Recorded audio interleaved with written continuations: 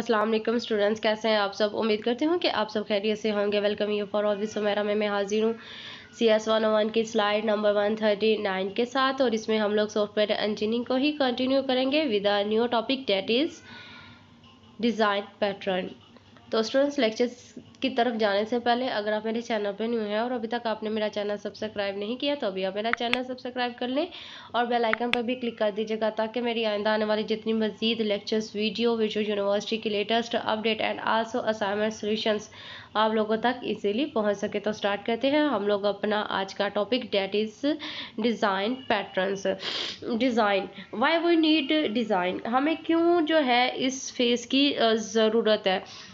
आप लोग, हम लोग सॉफ्टवेयर बनाते हैं। सॉफ्टवेयर किस लिए बनाते हैं? किसी ना किसी प्रॉब्लम के हल के लिए। तो प्रॉब्लम के हल के लिए फ़र्स्ट ऑफ़ ऑल हमने प्रॉब्लम को एनालाइज करना होता है। प्रॉब्लम को अच्छे से समझना होता है। जब आपने प्रॉब्लम को समझ लिया तो प्रॉब्लम के जो है जो है दो से तीन सॉल्यूशंस अवेलेबल होते हैं। तो आपने उसमें से जो बेस्ट सॉल्यूशन होगा जिस पे आपकी कॉस्ट कम लगेगी, आपकी एफर्ट्स कम लगेगी, आपका टाइम कम लगेगा, आप उसको जो है ले लोगे। अगर सिंपल एग्जांपल मैं आप लोगों को दूँ डेली लाइफ में जो है आपकी डेली लाइफ में से लेट्स सपोज़ कि हमने जो है जाना है लाहौर। और लाहौर जाने के हमारे पास तीन रूट्स हैं। तो आपने देखना है कि इसमें से कौन सा रूट बेस्ट है। बेस्ट कैसे के इसमें से किस पे जो है हमारा ख़र्चा कम लगेगा सेफ़ भी होगा और जो है हमारा टाइम भी कम लगेगा। तो हम उस रूट का जो है उसको सिलेक्ट कर लेंगे। तो बिल्कुल इसी तरह से जब हम एक सॉफ्टवेयर को बनाने जा रहे होते हैं सॉफ्टवेयर इंजीनियरिंग में बेसिकली आपको पढ़ाया जाएगा कि कैसे आपने सॉफ्टवेयर को डेवलप करना है, वो कौन सी टेक्निक्स है जिनको आपने स्टार्टिंग पे अडॉप्ट करना है और अगर आप उसको अडॉप्ट नहीं करते हैं then you are failure to make a perfect software अब हमारे पास क्या कहता है कि हमारे पास pre developed model for solving ठीक है, कि हमारे पास जो है सॉफ्टवेयर को डेवलप करने से पहले जो प्री डेवलप होता है, ठीक है? डेवलप करने से पहले एक डेवलपिंग प्रोसीजर होता है सॉफ्टवेयर का और उसको कहते हैं design phase you are not the first one working on the problem हमने फ़र्स्ट ऑफ़ ऑल ही अपनी प्रॉब्लम पे हल जो है काम करना स्टार्ट नहीं कर देना।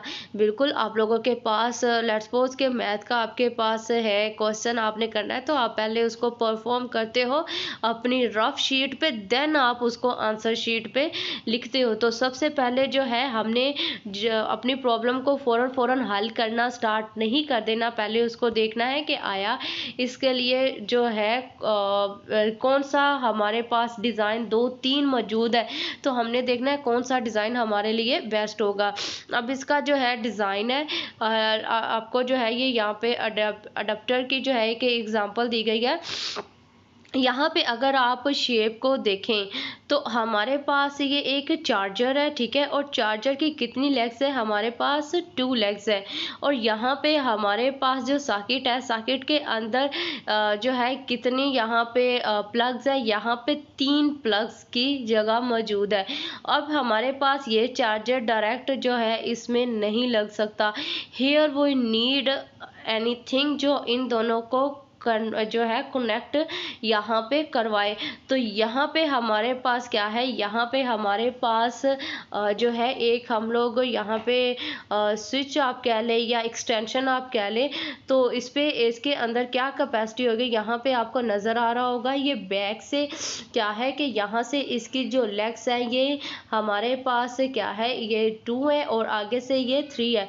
और ये क्या करेगा? ये इन दोनों चीज़ों को आपस में जो है करवा मिला देगा ताकि दोनों का काम जो है हो सके। अब चार्जर के थ्रू जो है किसी ना किसी डिवाइस को हम कनेक्ट करेंगे और उसको इलेक्ट्रिसिटी रिक्वायर्ड होगी। तो इलेक्ट्रिसिटी दिलवाने के लिए हम लोग यहाँ पे क्या है अडेप्टर को इस्तेमाल कर रहे हैं। तो ऐसी टेक्निक्स जिसके अंदर हम लोग जो है इस चीज़ का इस्तेमाल करें। हमारे पास कौन सी टेक्निक्स कहलाती है? हमारे पास प्रॉब्लम्स को सोल्व करने के लिए वो, हमारी कहलाती है अडप्टर पैटर्न नेक्स्ट हमारे पास क्या है? जो है डिटेक्टेड पैटर्न है। अब आपके पास जो है, एक सॉल्यूशंस मौजूद है, ठीक है? आप उसकी हो अर्ली स्टेज पे। और अर्ली स्टेज पे आपने जो है जो आपने चीज़ सोची हुई है वो आप करने जा रहे हो और आप बिल्कुल अर्ली स्टेज पे हो और उसी टाइम पे आपको कह दिया जाता है कि ये चीज़ नहीं, इस पे ये चीज़ परफॉर्म करनी है। तो हम उस चीज़ को उससे जो है दूसरी डायरेक्शंस में जो है मोड़ देंगे। अब आपको ये एक यहाँ पे जो है नज़र आ रही है, नज़र आ रहा होगा, हमारे पास एक, जो है वेज पिज़्ज़ा है और दूसरा हमारे पास क्या है चिकन पिज़्ज़ा है। तो यहाँ पे आपको नज़र आ रहा होगा फ़र्स्ट ऑफ़ ऑल क्या है ये पिज़्ज़ा की डो है और ये बिल्कुल जो है प्राइमरी स्टेज पे है। और यहाँ पे जो है आपने देखना है कि आपके पास दो चीज़ें हैं। इसमें से जो चीज़ आपने परफॉर्म करनी है, उसके फ़ंक्शंस को इसके ऊपर अप्लाई करके उसको, वो डिज़ाइन दे के आप वो काम इससे करवा सकते हैं। तो अगर आपने चिकन पिज़्ज़ा बनाना है डो रेडी है, इसके ऊपर जो है आप कुछ भी जो जो भी पिज़्ज़ा का आपका चिकन वगैरह है, वो आप अप्लाई अप्लाई कर दो।